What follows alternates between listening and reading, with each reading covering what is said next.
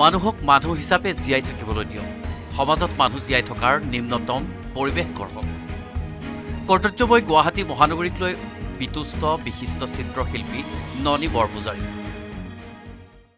ভালকৈ চাফা পৰিৱেশ এটাত বাচি থকাৰ কাৰণে আমাক সেই পৰিৱেশটো সৃষ্টি কৰি দিয়াটোৱে আমি বিচাৰোঁ। সলনি হোৱা নাই গুৱাহাটীৰ ছবি। এজাক বৰষুণত বানত বুৰে এই গুৱাহাটী।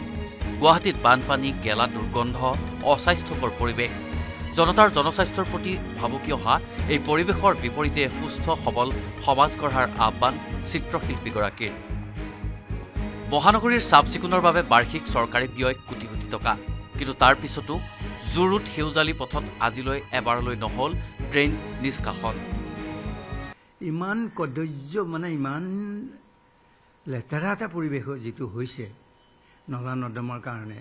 তাৰপিছত নলা নৰ্দমা চব চাফা কৰাৰ কাৰণে মোৰ নিজৰ গলিটো মোৰ নিজৰ সেউজীয়া সেউজীয়ালি সেউজী সেউজী পথৰ যিটো গলি কোনোদিনটো তাক তাক পৰিষ্কাৰ কৰা দেখা নাই।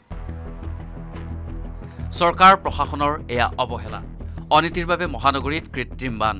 শুকুৰবাৰৰ কৃত্ৰিম বানত বুৰিল ননী বৰপূজাৰীৰ ঘৰ। ঘৰৰ ভিতৰত সৃষ্টি হ'ল একাঠু পানী আৰু এই পানীৰ বাবে ধ্বংস হ'ল শিল্পীগৰাকীৰ বহু মূল্যৱান সৃষ্টিৰাজি। ষাঠিৰ দশকৰ পৰা সংৰক্ষণ কৰি ৰখা বহুকেইখন চিত্ৰত সোমাই পানী। যদিওবা শিল্পীগৰাকীৰ নিজ সৃষ্টিৰাজি ধ্বংস সেয়া ব্যক্তিগত লোকচান। কিন্তু সামগ্ৰিকভাৱে সমাজখন উন্নত কৰাৰ আহ্বান শিল্পী ননী বৰপূজাৰীৰ। শুকুৰবাৰৰ মহানগৰীৰ ভয়াৱহ কৃত্ৰিম বানৰ পিছত দ্বিতীয় দিনাও মহানগৰীৰ কেইবাটাও প্ৰান্তত দেখা গ'ল কৃত্ৰিম বান।